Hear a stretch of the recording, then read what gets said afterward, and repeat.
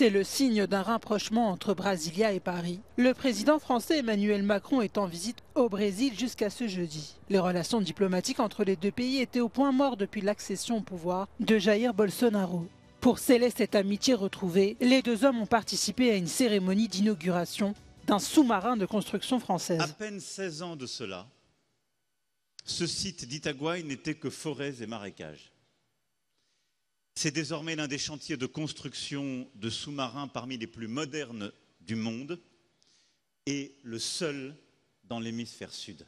Cette vision géopolitique qui est la nôtre, celle d'être des grandes puissances qui coopèrent au service d'un ordre international et de ses équilibres, qui refusent la partition du monde, qui refusent la vassalisation à laquelle on voudrait parfois nous attraire, c'est cela qui nous lie. Lors de cette inauguration, Emmanuel Macron a pris l'engagement de soutenir le Brésil dans la construction de sous-marins à propulsion nucléaire. Le Brésil est un acteur stratégique pour la France, mais aussi sur la scène internationale. Le pays va accueillir le G20 en novembre prochain, en 2025. Ce sera la COP 30 qui s'y déroulera dans la ville de Belém.